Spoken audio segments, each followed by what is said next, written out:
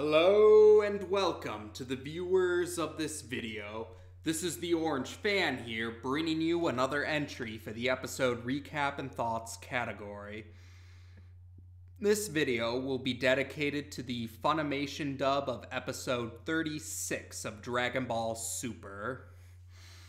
We begin this episode where we left off last time.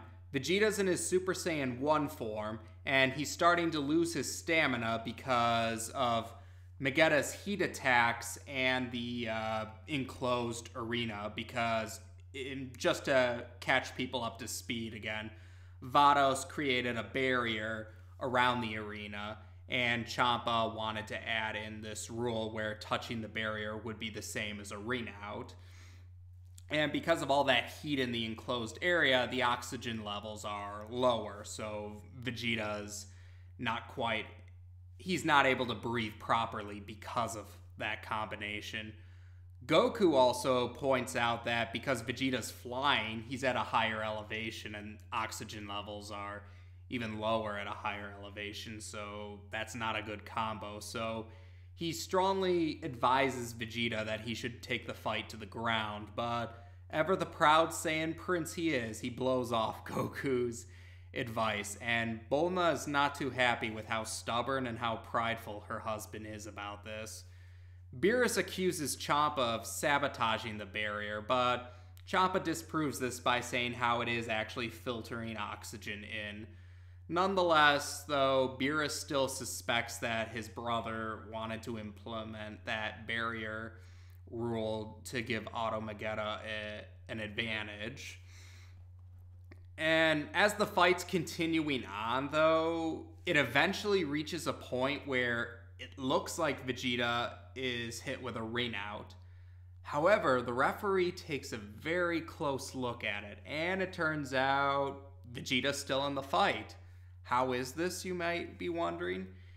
Now, Vegeta's like on the tiptoe. It looks like one of his feet on its tiptoes is touching the arena or outside the arena, but according to the referee, he's actually touching rubble or debris from the arena that was blown off. So, technically speaking, Vegeta is still in the ring though the Saiyan Prince is not happy about the fact that a technicality saved him. But he calmly asks the referee again that the rule about the barrier is whoever touches it is treated as if they're being hit with a ring out, yes? And the referee confirms this.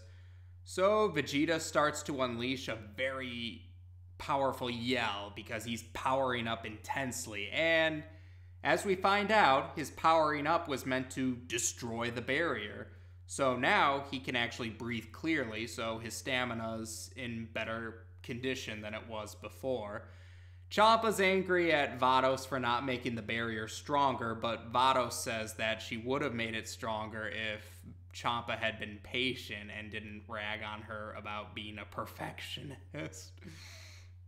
and in his effort to end this fight quickly, Vegeta delivers one of his signature attacks, the Final Flash, and he gives it his all against Magetta. When that after that's finished, he rushes up to Magetta and he punches him too, all while calling him a piece of junk or something along those lines. And Magetta is hit with a rain out, and so Vegeta wins. Oh, and the arena was really destroyed even further. So as a result, Vados is going to go repair the arena. When Vegeta arrives to the platform where the Universe 7 representatives are, he asks for a water bottle and Whis conjures one up for him to drink from. He also comments that Vegeta might have gone a little too far since he points out that Auta Magetta is actually crying. Although in his robotic voice, he's just saying sob. and Goku's surprised by this, although Whis reveals that the Metal Men species might have literal thick skin, but they have figurative thin skin. Apparently, they're very sensitive to insults, and Vegeta calling Magetta a piece of junk is what led to him losing the will to fight.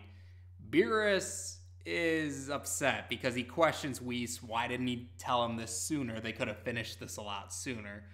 But Goku, on the other hand, is happy they didn't know because they got to see a longer fight for it. And Goku catches Vegeta looking over at Hit. And he kind of. Vegeta doesn't say anything out loud, but Goku sh- shares agreements with Vegeta, or Vegeta's apparent agreement that Hit's a strong guy. Because keep in mind, they didn't see Hit's um, brief scuffle, I guess you could call it, with Frost, or kind of a one sided scuffle, but you get what I mean. They didn't see Hit's confrontation with Frost, so they don't know about his powers, but they're good at sensing uh, energy signatures, and they can tell he's a strong one. But before they can find out any more about Hit, it turns out that the Universe 6 Saiyan Cabba is actually the next representative for the Universe 6 team, and the episode ends before that match can begin.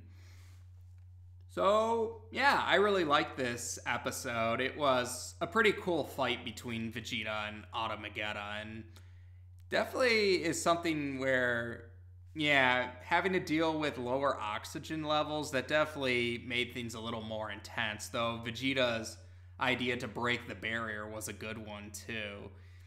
And well, we got to learn a little bit more about the metal men species, not just their biology, but apparently it's a trait among the species, not just Magetta, that they're very sensitive to insults.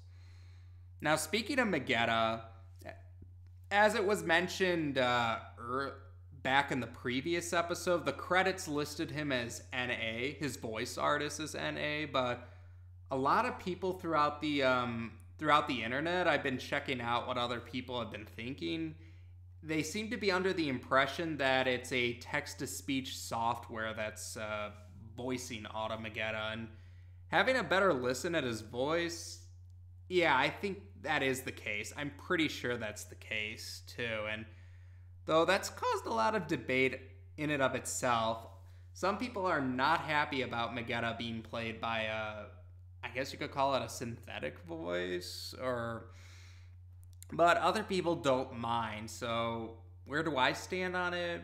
I like it.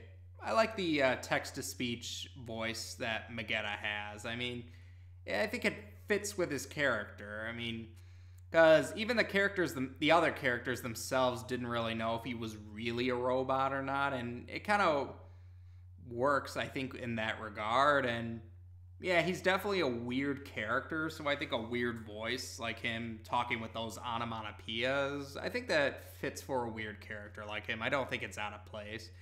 It's not like they did anything like this for say Frost or or Cabba or Hit. I mean, it was just Magetta. It was kind of just a um, yeah, so I didn't personally have a problem with it. I think it's just fine for a character like him.